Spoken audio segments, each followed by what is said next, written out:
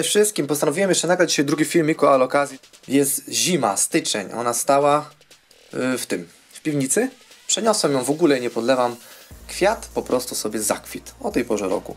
Mimo, że nie podlewałem, zobaczcie. Podejdę bliżej, momento.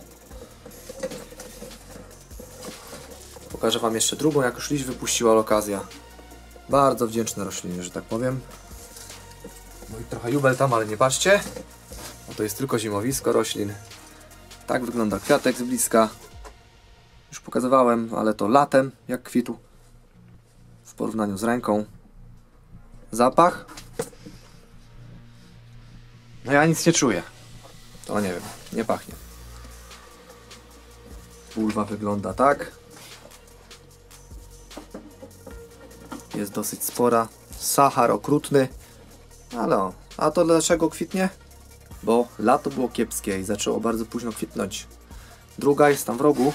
Ja wam pokażę. Nie wejdę tam za bardzo. I też wypuściła, ale liść.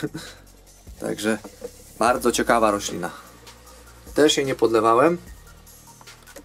I tak sobie rosną. Zobaczymy jak to latem będzie pędziło. Widzę, że po, powolutku szykuje się na wypuszczenia liścia i zostawię już ją tutaj w szklarni, gdzieś ją tam wcisnę w te moje palmusy między banany. Niech tu sobie już do wiosny postoi. Piękny kwiat, prawdaż? O, teraz ostrością ładnie widać.